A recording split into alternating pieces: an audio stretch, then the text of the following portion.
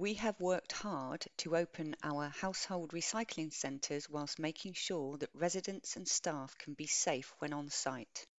With restrictions, as of Monday the 11th of May, we opened the following sites Malvern, Pershore, Stourport, Tenbury, Worcester, Bromsgrove, and Redditch. If you need to use the Bromsgrove or Redditch HRCs, you will need to take proof of residency in the county.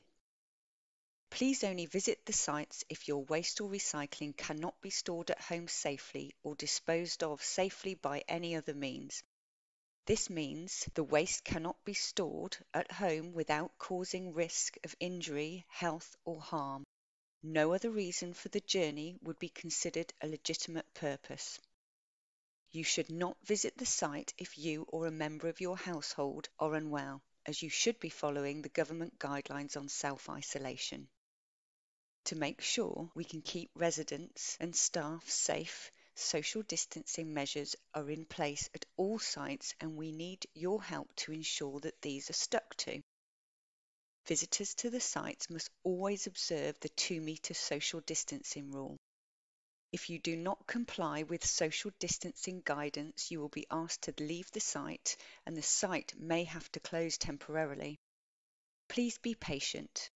Remember that going to a HRC will be different from the way the system operated before, and that it will be a while before social distancing measures are lifted.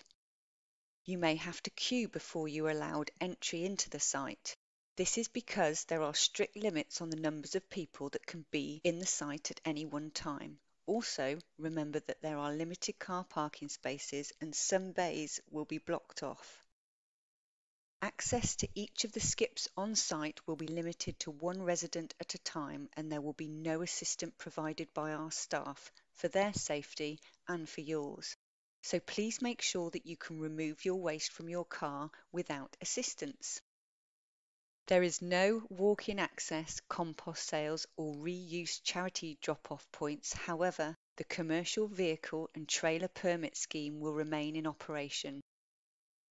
Please make sure you visit the website for more information on all restrictions before you travel to a site and to check opening times at www.letswasteless.com.